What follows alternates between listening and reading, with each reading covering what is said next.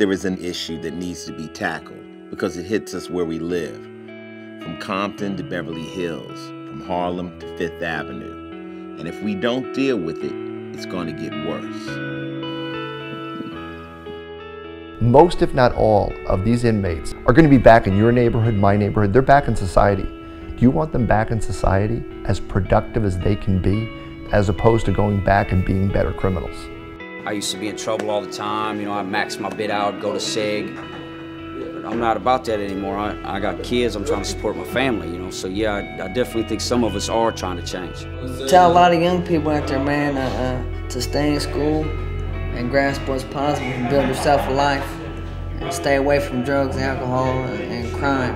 Because this is no way to spend your life. It's a lot of wasted time. If these guys can find a focus, do something they love to do, then hey, we've got a rehabilitation program that could work in addition to the other programs they're already utilizing at the prison. I'm done with selling drugs. That's just, that's just not going to happen. So this, this type of situation, this was a good, great opportunity for me to showcase my talent. This has never happened before. In my 19 years of being incarcerated, nobody has ever really cared, to, cared about the inmates' talents. Part of the reason I thought this was an important project was to bring something inside a prison that might help them get along better. If they can laugh together well, perhaps they can get along better together well. This is a step in the right direction. I'm just glad they let us uh, get in here and do this. There's a lot of potential for, for comedy because it's a difficult place to live. I don't have any doubt that you'll find talent in prison. Hey guys, how you doing? You guys here with the comedy show coming through? Check this out. Inmates got talent. Who's throwing this shit? Sorry, Charles Manson. You got a little soap going on all of a sudden if you just drop it because we ain't got no ropes.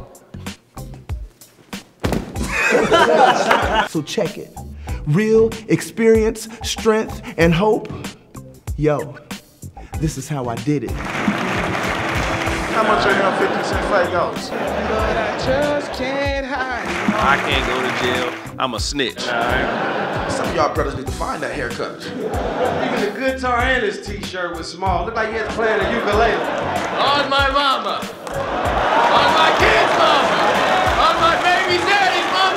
Talking about. See the background. Can I get a kiss?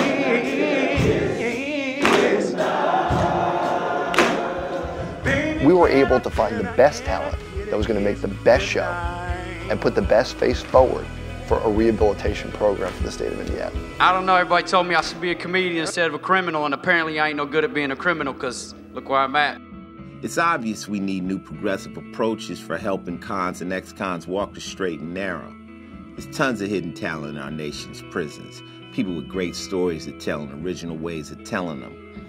Johnny and Joel have found a way to uncover that talent and encourage these inmates and parolees to turn over a new leaf, to do the right thing, to make their families proud, and to become productive in society. Thanks for coming through. I appreciate it, man. You guys really moved me in the right direction.